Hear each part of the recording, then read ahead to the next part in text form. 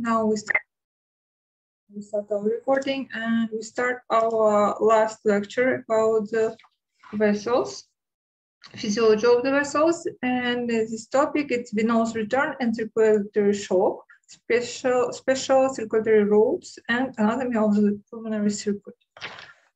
Uh, here, where is my marker? No, this one. Mm -hmm. Now we can start. Uh, today's lecture's outcomes. Um, you will be able, after the lecture, explain how the blood in the veins return to the heart, and it's important for hard working, for cardiac output, we know. Uh, we will discuss the importance of physical activity for venous return also. Uh, we will discuss about shocks, stages, compensative, decompensative shocks. What is it? How many types of shock we know? And we will discuss about brain maintains and uh, muscles, uh, vascularity differences, pulmonary vascularity differences, and pulmonary circuits themselves. The first question is the mechanisms of venous returns. Uh, we have five mechanisms of venous returns. You must know each of them because uh, firstly, they are important for your CC. In the CC, you will have uh, some questions like task or um, situation tasks. Yes, uh, like one patient have these symptoms, and can you explain which mechanisms activated in this situation, for example? And that's why you must understand all types of mechanisms of venous return, uh, how they work exactly, and in which situation, which venous mechanisms activated. Uh, easily, venous return is the flow of blood back to the heart. And first mechanism, it's pressure gradient. Uh, mm -hmm. First mechanism, pressure gradient. Uh, blood pressure is the most important force in venous return. And for example, 7, 13 millimeter of mercury venous pressure towards the heart is pressure gradient. Uh, if uh, in the venous pressure, we have 20, 12, 18 millimeter of mercury, uh, but to the central venous pressure point where uh, we have in the veno, vena cava, for example, vena cava uh, is the most um, large vein. And when this vena cava enter to the heart, we have only five millimeter of mercury uh, gradient. And for example, venous return is, um, how to explain easily? Um, it's how my, um, it's pressure gradient, it's easy word, it's pressure how by which um, veins, vein blood back to the heart. Uh, I will show you the movie after this slide. And in during this movie, I hope you understand more more detail, this pressure gradient. Uh, next one is gravity. Gravity, uh, I think it's understandable from the name. It's uh, how drain blood from the head and neck. It's easy. For example, when you're sitting or standing, um, blood, uh, blood from the head and neck drains for your heart during the gravity. And um, the large neck vein or vena cava superior, they have uh, zero millimeter of mercury inside uh, of venous pressure. But here we know that in, no, you don't know, but you will learn that in the head we have dural sinuses of the brain. Uh, and uh, for example, if neck veins, they collapse because they have zero millimeter of mercury. Um, but dural sinuses, they cannot collapse uh, because of the structure of wall and they always open. And this why the pressure in them, it's 10 millimeters of mercury and it is, this is risk of air embolism if you punctured your dural sinuses. You must know this. You must import, um, memorize this information. Uh, but other veins uh, in the neck, they, uh, they have zero millimeter of mercury pressure and they collapsed, um, like when you're sitting, for example. Next uh, mechanism of venous return is skeletal muscle pump in the limbs. For example, um, gravity is more uh, activated mechanism for the head and neck, but for the limbs, this is skeletal muscle pump. Skeletal muscle pump, it's muscles uh, located in our uh, leg, in our calf here. And when they constructed, uh, mus muscle squeezed out uh, and compressed the vein and blood squeezed through these veins uh, up to the heart. That's why they're important. And this skeletal muscle pump very important. And we discussed it more detailed when we discussed how exactly exercise affected for venous return, uh, why exercises it's um, important for venous return too, because of skeletal muscle pump. Okay, you hear me guys? Yeah, yeah we hear you. Uh, here, for example, this picture, you can see you uh, learn in the previous uh, topic that veins, medial, uh, medial veins have valves, yes? For example, arteries, absence of vein, uh, valves, but veins have them. And the main function of the valves is what? Uh, prevent backflow teacher of the blood. Yeah, preventing backflow. But these are very important. They preventing backflow and also they pre preventing stagnation of blood in the leg because our leg is the uh, the most uh, bottom part of the, our body, yes. And for example, during the gravity also, uh, here blood will be in the uh, legs only. But we have skeletal muscle pump. When they contracted, they pressed, you see, they pressed veins. And because valves here is closed, veins pressed and blood goes up to the heart. And after that, they closed again in the next level. And when you compress your muscles again, they haven't way, they can go up or down, they can go only up. This is how exactly skeletal muscle pump working because of uh, because of helping of valves. Or for example, if you see to the relaxed skeletal muscle, you can see without the construction, uh, blood will stagnate it here between two walls. If you contract it, they start moved and squeeze up. Do you have some question? Uh, yes, ma'am. Uh, if we enlarged our uh some muscles, does that affect on uh, uh, blood flow? Large muscle, which one?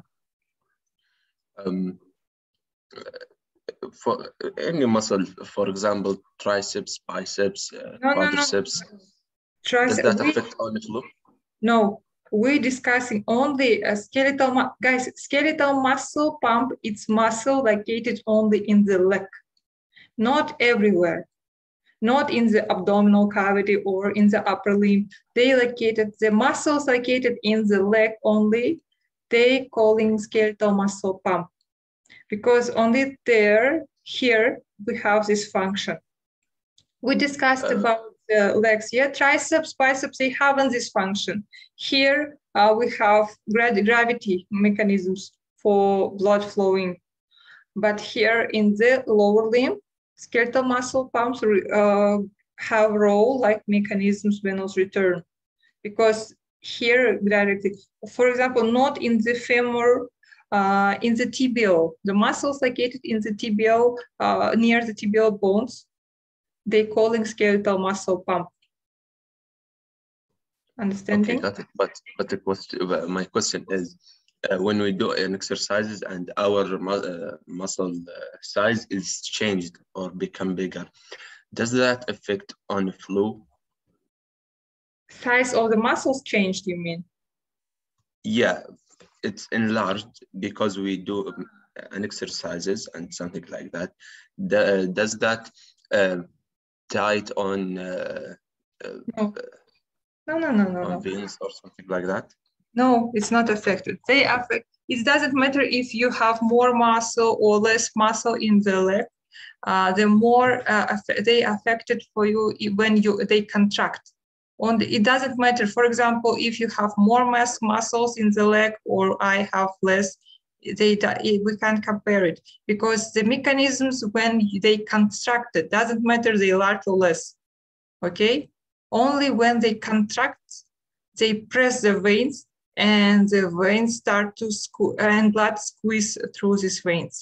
When they relax, they uh, they don't squeeze. Uh, it doesn't matter if you have less muscle or more muscle in your leg, it doesn't affect for this mechanism. The main idea when they contract or don't contract. Understanding? Yes. Yes, teacher. Uh-huh. Okay. I have a question, please. Uh, what will happen if the lower valve open during the this uh, mechanism? When lower what? Lower valve open during this mechanism. What will happen to the uh, blood flow? Yeah, we have if uh, we if this mechanism didn't work, we have stagnation of uh, blood in the lower limb. It's, we have problems with the uh, blood flow in the lower limb without this mechanism because this mechanism, skeletal muscle pump, the most uh, important for our blood flow from the lower limb. We will discuss, for example, uh, what happened if this mechanism didn't work this in the next slides. Okay, don't be fast. For, uh, it's calling venous pooling. We will discuss it. But for, for example, here you see for, um, if we back again, you see venous return, uh, oh, sorry, pressure gradient, it's total mechanism for whole body. It doesn't matter for the head, for the neck, for the lower limb, for the abdominal cavity. It's total mechanism how exactly venous return to the heart. But if we separate, we plus for pressure gradient, uh, with plus gravity for the head and neck. Gravity help uh, to uh, flow blood from the head and neck to the heart. For the limbs, we have mechanism called skeletal muscle pump for our muscles. Next, for, due, uh, due to the skeletal muscle pump, blood from the uh, legs, from the tibial yes, bones, from there, they from the bottom they go back uh, up to the abdominal cavity because in abdominal cavity we have the large vein calling uh, vena cava inferior. Yeah, vena cava inferior collect uh, blood, big diameter vein, collect blood from the legs and they go to the abdominal cavity. When this blood collect to the abdominal cavity in the inferior vena cava, they we have here another mechanism calling, uh, calling thoracic respiratory pump.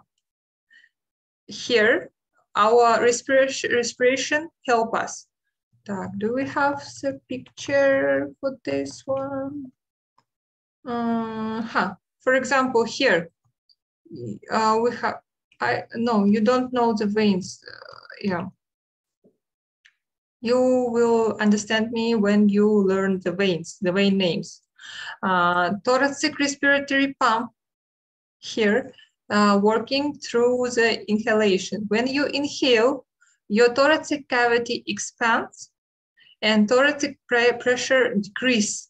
This decrease, um, do you remember when we discussed uh, in the previous lecture, uh, blood goes uh, in that direction when where we have less resistance.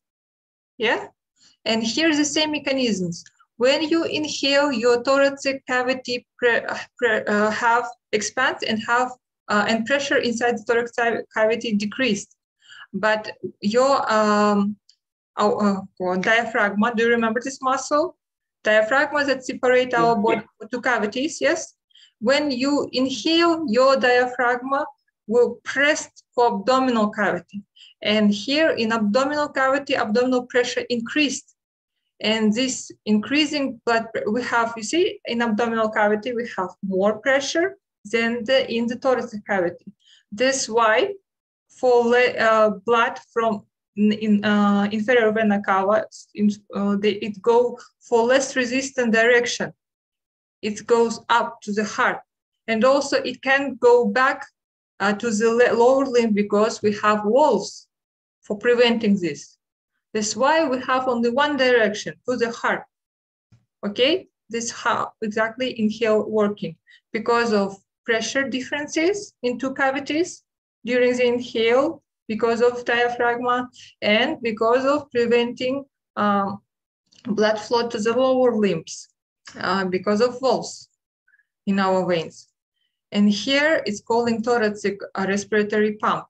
You see, during the because of skeletal muscle pump, uh, blood veins, uh, blood or vein blood goes from the leg to the abdominal cavity through the thoracic respiratory pump. Uh, it's from abdominal cavity go to the heart. Okay. And next, cardiac suction. Uh, it's expanding atrial space. Um, cardiac suction is uh, four mechanisms that work inside the heart. It's like a, um, yeah, this creates a slight suction that draws blood into the atria from the vena cava and pulmonary veins. It's two, two mechanisms that working inside the heart directly. It's helping to uh, squeeze blood from the vein, vena cava superior inferior to the atrial, uh, right atrium directly. Okay, you must know pressure gradient and cardiac suction, two mechanisms inside the heart, gravity for the upper uh, veins uh, and skeletal muscle pump and thoracic cavity that help us from the abdominal cavity and from the legs. All five mechanisms you must know. And for better understanding, I will show you one video.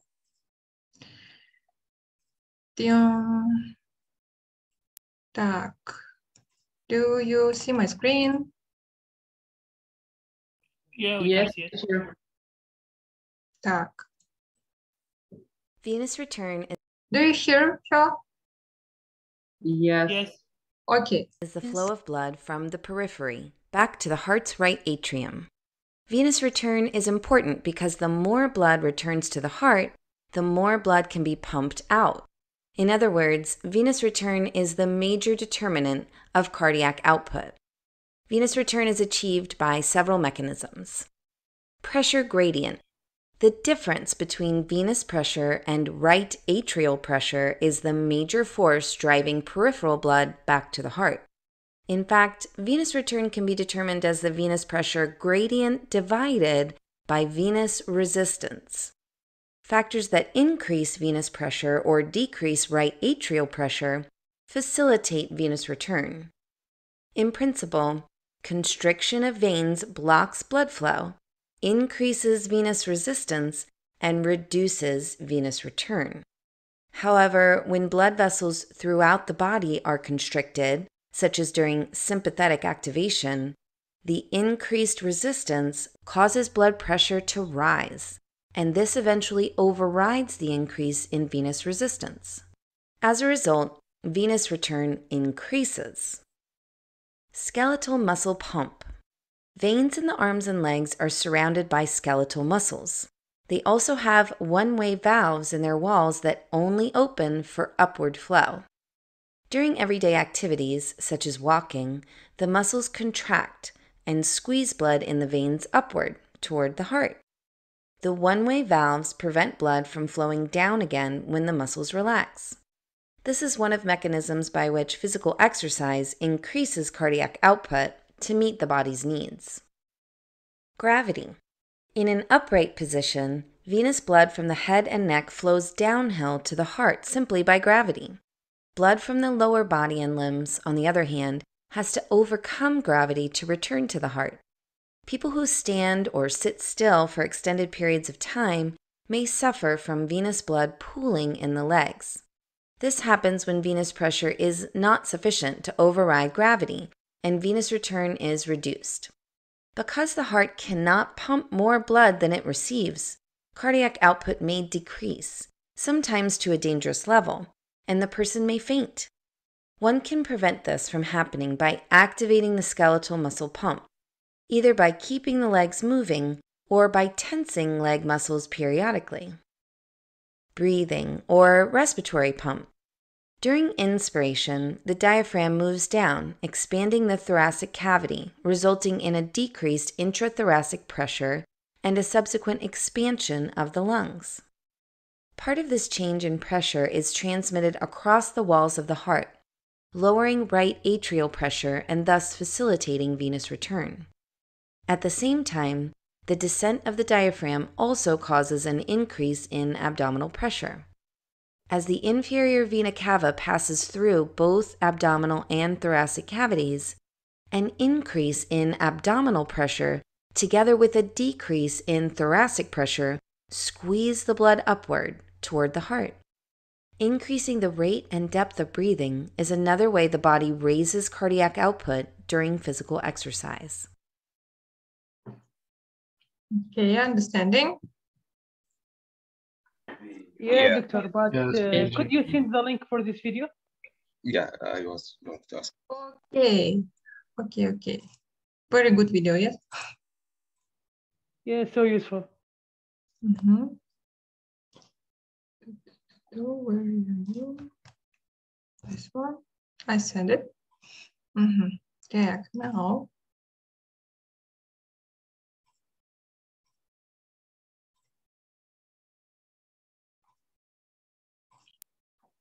Now, I think you understand more detail about the five mechanism of venous return.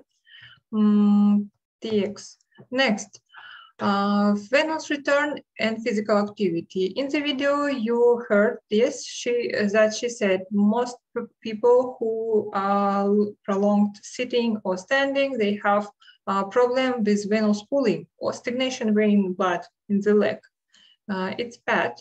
For example, they occurs with inactivity and with, for cashiers, barbers, hairdressers, members of choir, people in military service, they have this problem. And так, так, так, так, так, так, here. See, um, it's problem because cardiac output may be long, um, low enough to cause dizziness, dizziness. And for preventing this situation, we need to activate our calf muscles. For example, you can do some exercises. If you know that uh, you need to sit down for a long time, for example, during the lecture, yes, we, we together, we're sitting for two hours. And for preventing venous pooling, we can do some exercises. You can move with your um, calf muscles, do these movements, yeah, contract your muscles when you sit uh, and after some few minutes, you can feel that you can feel better in your leg. Uh, sometimes because we can feel some stagnation, some uh, hard feeling from the leg, and after the exercise, you will feel better. Uh, Так, ту-ту-ту-ту-ту-ту. Also, it's about the venous pooling. Uh, in the Saladin, you will read that uh, jet pilots have uh, problem, yeah, have risk for this venous pooling, and that's why they were some pressure suits for pre preventing venous pooling. If you understand, yeah, it's uh, if you imagine we have only three, four, maybe five a liter in our body of blood, and if all uh, 50, 60% of this blood go to the veins in the leg, it means you have ischemia of the brain. And we will discuss, we will say that only five, four, five minutes, it's enough for brain damage, yeah, for die, die of the brain uh, tissue.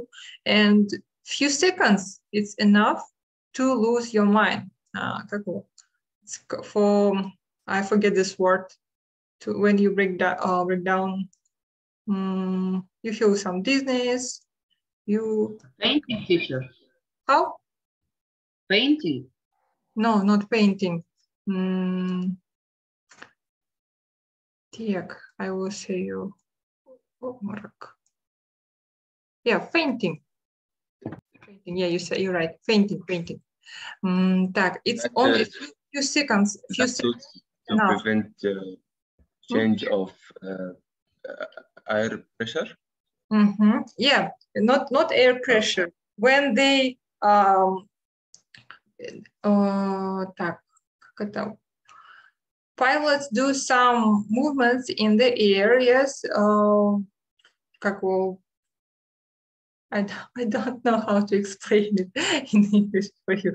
When they do some movements, uh, their pressure every time uh, go uh, down and up.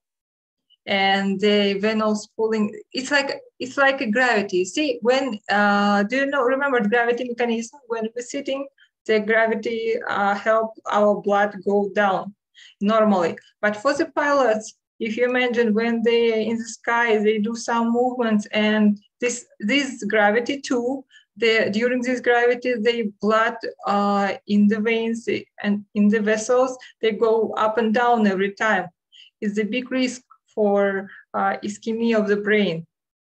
The our um, you remember they do some movements in few seconds, very fast. In the, in these seconds, our body can't react so fast. That's why it's risk for for, uh, for this one. You will read in Saladin about this. They uh, they wrote it in more detailed, more understandable than I trying to explain you um, but it's a very good example. Mm, next one. Um, also, physical activity and exercise, they increase venous return in many ways, not only preventing venous pooling. They, we know, yes, when we start to exercise, we discussed in, in cardiac output, in uh, capillary exchange, our heart beating increased, our blood pressure increased, and uh, also our vessels in skeletal muscles they increased their blood flow inside them.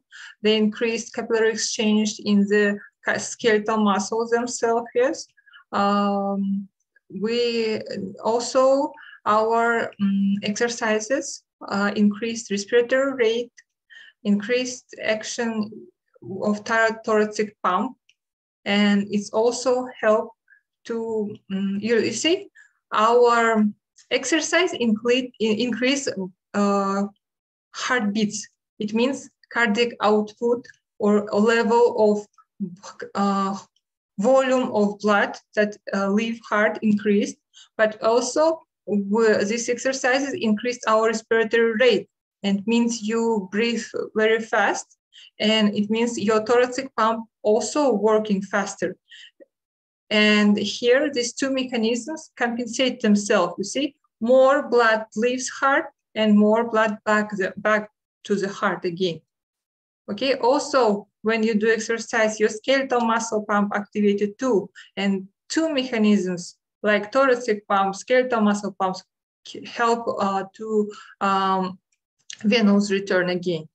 That's why during the exercise, exercising is helping you um, and don't lead to edema, for example, or venous pooling, because two mechanisms of venous return very increased and compensate the, our heart beating and increase blood pressure and great um, volume cardiac output. Do you understand, guys? Yes, Yes. teacher. Because uh, you will have the special task about this, about venous return, about uh, physical activity. That's why I concentrate you for these two slides. You will have tasks for them, for these questions in CC.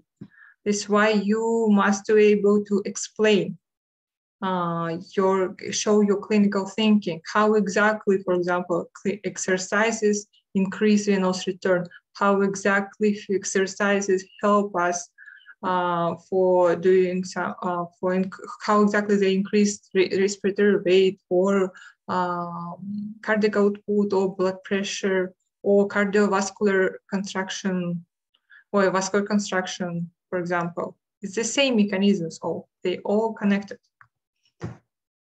Okay. And don't, for, example, if you have more time, you can, you can be able to explain the sympathetic system that uh, uh, because of uh, during the, uh, when we have exercises, we remember to have um, neurons that gives signals to the brain, yes, this brain activates sympathetic uh, neurons uh, for the heart, for the vessels. We have construction, blood pressure increasing, and etc. etc. Okay. It means when you will read this topic, it's this topic very small in the slide, you know, few picture, few uh, lists only, but you need to concentrate on them you must memorize and understand the connection between it's like this topic is like um, um, it's collecting everything what you read before. Okay? All your knowledge about cardiac output about blood pressure differences changes. Okay guys? In because in first look it's very easy but it's, it's this topic very important for clinical thinking, okay, for, for your CC. Okay, guys? Okay, teacher. Next, next uh, topic, part of the topic is circulatory shock. I think you heard about the shock many times. Also, you can uh, you heard about anaphylactic shock, yes, or maybe hypovolemic shock, uh, also, you can saw in the movies every time, oh, I shocked and someone went down uh, after some emotional stress situation. Yes, it is, it's also shock. Um, and we explain it. For example, circulatory shock is any state in which cardiac output is insufficient to meet the body's metabolic needs. Easy words, shock when your blood pressure fastly drop, drop it's shock. For example, when you measure um, the first symptoms, when you see someone uh, fail, fail, how this word, I forget it again. Um, fainting, teacher. Yeah, fainting. Every time I forget it. Fainting. But if you see, it's uh, in real situation, yes, it's easier will be for understanding. If you see someone who fainting, you must do uh, check his pulse and blood pressure if you can, uh, if you have something near. And if his blood pressure uh, dropped, for example, normally it's 120 for 60, 80, 60, maybe someone have 160 normally. It depends on the normal for the person adapted blood pressure. But if it dropped for 90, 60, it's uh, uh, or 70, 50, uh, it's shock because blood pressure dropped. If blood pressure dropped, you can understand this, why um, patients have fainting. Not because fainting shock happened, it's opposite. Shock happened, uh, blood pressure dropped, and patient have fainting because of um, ischemia of the brain. Okay, it's understanding, guys? Yes, teacher. Mm -hmm. And here, when we're discussing about the shock, we have two types. Yes, shock, we said it's about blood pressure. When, we dis when we're talking about blood pressure, we imagine two things. It's connecting with the heart and it's connecting with the vessels, yes? Contraction and dilatation of the vessels and heart beating. Two things. And it's understandable that shock is uh, separated for two uh, types.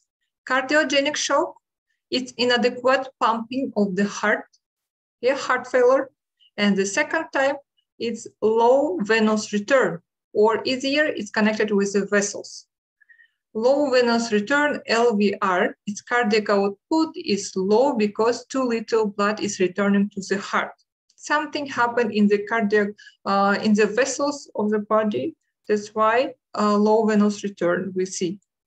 And for the LVR type, we have three principal forms. Hypovolemic shock, it's most common when we lose blood volume because of trauma, because of burns, dehydration or bleeding, for example, it's hypovolemic shock. Next, second, it's obstructed venous return shock. Uh, for example, when we have tumor, tumor can press vena cava inferior or vena cava superior or other great vessel uh, veins or uh, in the body.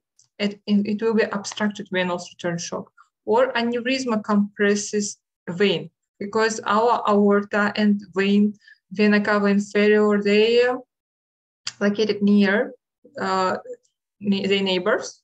And if we have aneurysma of the artery, aorta, the aneurysma can press the vein. Do you remember what I said? We never have aneurysma of vein. Aneurysma, it's only uh, for the arteries. If we have enlargement of the vein, it's varicosity. And varicosity happened only in the lower leg, never in the hand or in the abdominal cavity somewhere near the organs, only in the leg. Uh, and next, it's venous pooling or vascular shock. Venous pooling, uh, stagnation, yes, or something happened and we have some stagnation, blood in the vein, in the leg. And venous pooling shock, it's long period of standing, sitting, or widespread vasodilation. It's what happened with some barbers or uh, Kushners and others. The neurogenic shock, uh, loss of vasomotor tone, vasodilation.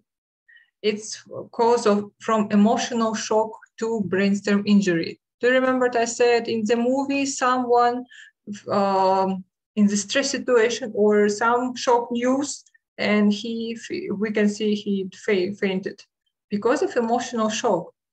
Emotion also can lead to uh, very fast vasodilation and we can see neurogenic shock. Okay if you see some some situation in the movie you can say oh it's neurogenic shock. And you will show that you're a medical student and you know about the shock so. You hear me? Yes. Yes teacher yeah uh -huh. Okay, next. Next, uh, we have septic shock and anaphylactic shock. Uh, septic shock and anaphylactic shock, it's two shocks um, that can compare two mechanisms, vasodilation and increasing of uh, capillary permeability.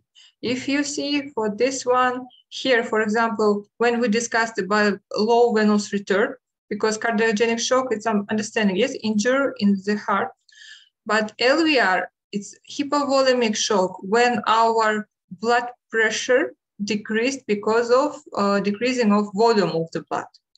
Obstructed venous return shock is understanding. Venous pooling is also understanding because of vasodilation. Neurogenic also vasodilation mechanism. But septic and anaphylactic shock compare two mechanisms. It's vasodilation in septic shock because of uh, bacterial toxins. They trigger vasodilation in the vessels. Uh, and the second one, because these toxins increase capillary permeability, increased capillary exchange. And you can see vas- the vessels vasodilated and also filtration increased. And we, we can also, all, um, it means blood volume decreased too. You see? These two mechanisms for septic shock. It happened very fast. And the second one, anaphylactic shock. It's also again vasodilation and increasing of capillary permeability. But if in the septic shock, it's the reason of bacterial toxins, in anaphylactic shock, it's because of uh, immune reaction. Antigen antibodies uh, together start to uh, release histamine, and histamine we know it's vasodilation, vasodilatator, and here again, we can see vasodilatator and also histamine increase capillary permeability. This is how the anaphylactic shock work too. Okay, remember, these two, with two mechanisms and uh, hypovolemic obstructed venous pooling, this another three. Okay, one, two, three. Neurogenic, it's one uh, type of the venous pooling. It's the same, but because of emotional shock, it's what type? okay? It's not different type, it's what type of venous pooling shock. And septic anaphylactic is another types because they have two mechanisms, they're different. Okay, more complicated mechanisms. I hope you understand. But totally, Okay, yeah, but totally shock have two, cardiogenic because of heart and LVR because of vessels. Так, next, we have two types of um, treatment, I think, not treatment, but patho- patho- pathomechanisms. Yeah, compensated shock and decompensated shock. Compensated shock, it means uh, some mechanisms, you know, yes, because in the our body we have some baroreflexes, hemoreflexes, and other mechanisms that should uh, react, yes, for some changes in the to blood pressure. And when these mechanisms work, normally it's compensated, compensated shock. Shock happened, but baroreflexes, hemoreflexes activated, and again, blood pressure normal. But decompensated shock, it means when our mechanism didn't work, and after that, our organs start to suffer from this uh, ischemia, brain, kidney, liver, um, and other organ, in intestine, for example, also, they start to die. This is the compensated shock. Here, more detailed. Compensated shock. Several homeostatic mechanisms bring about spontaneous recovery. Decreased blood pressure triggers baroreflex and production of angiotensin 2 yeah, hormone reaction. Both uh, counteract shock by stimulating vasoconstriction. This is how it's working. And if person faints and falls to horizontal position, gravity restores blood flow to the brain. We activate gravity mechanism of venous return and quicker it fit are raised. It, it also helped. Again, gravity. Gravity here, angiotensin hormonal um, activation, and baroreflexes. These three mechanisms. It's main mechanisms for uh, compensation shock. But decompensating shock, if uh, compensating mechanism inadequate, or if shock um, for a long time or complicated, for example, in the septic shock, anaphylactic shock, uh, this compensating mechanism didn't work. For example, these compensated mechanisms like baroreflexes and angiotensin activated in neurogenic shock after emotional shock if uh, patient lay down after some few minutes he will feel he will or she will feel better. Yeah because of compensated mechanism activated. Or for example a long period of standing sitting or venous pooling shock it's also compensate. It can can be can, compensated. Um, так. Obstructed venous return or hypovolemic shock or septic shock, anaphylactic shock, they can't be uh, compensated by these mechanisms because because of the reason you say for example also cardiogenic shock because it's some problem with the heart it will be prolonged time not in few minutes that's why it can be compensated by the baroreflexes and others also hypovolemic, you see the reason because of trauma, because of some disease, dehydration also, the tumor or aneurysma. It's not, it's, it's prolonged time disease. Septic shock, anaphylactic shock. This is why for anaphylactic shock, I think you've heard before, we need to help, we give adrenaline and injections and other things to help to save patient life because this, um, these shocks can't be compensated by these mechanisms. Understanding this? Yes, teacher. Mm-hmm. Um, here, you see the compensated shock, uh, так, several life treatment, positive feedback, loops occur, okay. Poor cardiac output results in myocardial ischemia and infarction. Uh, it further weakens the heart and reduced output. It's like a loop, you see? Because of shock, our we have we can feel infarction. Because of infarction, again, cardiac output decreased. It's a loop. Uh, no, uh, slow circulation can lead to uh, disseminated intravascular coagulation. Again, it's DIC. In Russian, it's DVS disease. When um, we have clotting in the vessels inside. And this clotted vessels also decreased our blood pressure, we increased our effect of ischemia of some organs, yes, because somewhere when we have clotting, blood didn't flow there, and again, uh, tissue will die. Also, ischemia and acidosis of brainstem is depressed vasomotor and cardiac centers, and these cardiogenic or compensated mechanism never activated, yeah, because here you see all compensation mechanisms, they activate our vasoconstrictional um, cardiac centers, vasomotor centers, but here ischemia acidosis, they block this and they never compensate again. We lose vasomotor tone, further dilatation, and further dilatation with drop blood pressure and drop cardiac output. It's again like a loop. It's decrease themselves. Um, damage of card to cardiac and brain tissue may be too great to survive. Yeah. And this not compensated. Without the treating, the compensated shock leads to death. Okay. Understanding about guys? Yeah. Mm -hmm. Next, special circulatory routes. We have three of them in brain, in muscle, and uh, in the lungs. In the brain, uh, the main thing that total blood flow to the brain fluctuated less than that and any other organs. It's uh, yes, 7,000 milliliters per minute. And for example, seconds of deprivation cause loss of uh, consequences. Four five minutes cause for brain damage. Um, and also one of the important thing blood flow can be shifted from one active brain region to another. It's depending of um, work of the brain, yes? When, where we need more uh, blood, it goes in that direction. Brain regulates uh, its own blood flow by changing of blood pressure and chemistry. Um, blood pressure, because we it's connected with um, circulatory blood. For you see, if our uh, blood pressure constrict, boy, um, if in the total body we have construction, contraction of the vessels, in the brain they dilate.